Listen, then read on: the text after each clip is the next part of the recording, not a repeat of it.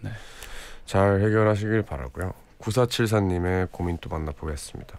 이건 고민 아닌 고민인데 대학 입학 전 1, 2월에는 뭘 하고 지내야 시간을 알차게 보낼 수 있을지 모르겠어요.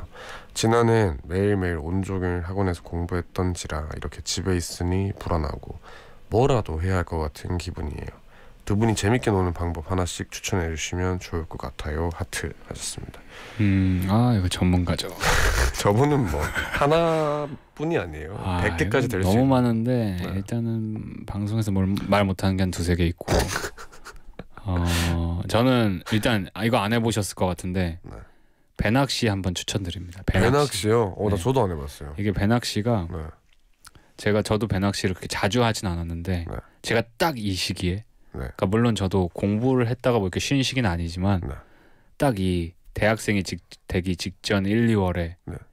했던 것 중에 아직까지 거의 지금 10년이 지났는데도 기억에 남는 것 중에 오. 하나인데 친구들끼리 한 돈 제 기억으로 한 2, 3, 2만 원 네. 정도 모아서 뭐 이, 저는 인천 사람이었으니까 네. 네. 인천 항으로 가서 이제 그런 배 낚시를 운행하는 배가 있어요.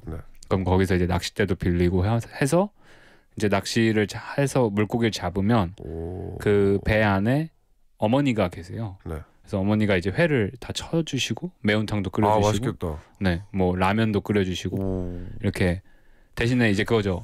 낚은 자만 먹을 수 있어요.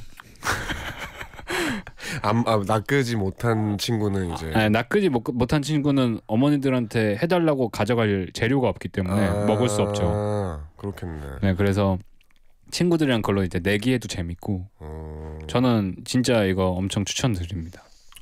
어, 배낚시 저는 상, 상상도 네, 못했네요. 그리고 이게 대부분 새벽 5시, 6시 출발하거든요. 아침. 네. 근데 그 출발할 때는 껌껌한데 네. 바다 위에서 이제 배- 해 뜨는 걸 보게 돼요.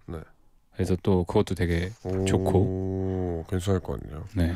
저는 이맘때쯤에 했던 게 여행을 참 많이 다녔던 것 같아요. 근데 그게 뭐 해외 여행뿐만이 아니라 국내에서 이제 어른이 됐잖아요. 어른이 이제 스무 살이 됐으니까 숙박업소를 마음대로 이용할 수 있어요.